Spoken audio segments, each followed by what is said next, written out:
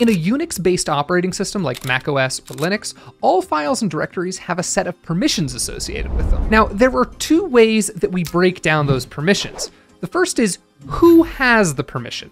The second is what permission do they have? Now, in regard to the what, any user accessing a file or a directory may or may not have access to read it, write to it, or execute it. Now, all of those permissions, both the who and the what, are represented by a 10 character string. The first character is always either a D or a dash. If it's a D, all that means is this is a directory. If it's a dash, it just means this is a file.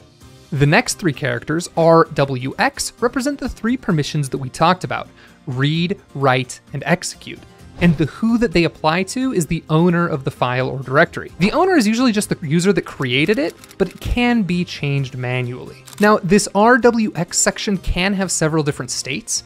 Each permission can either be granted, in which case the letter is present, or it can be a dash, in which case the permission is not granted.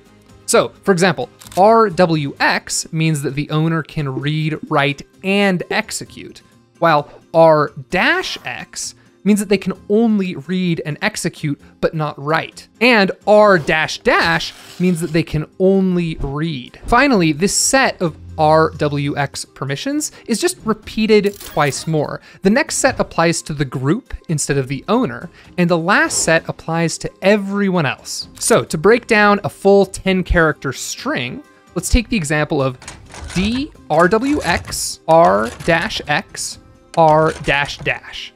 The D means that this is a directory. The RWX means that the owner can read, write, and execute. The R-X means the group can read and execute.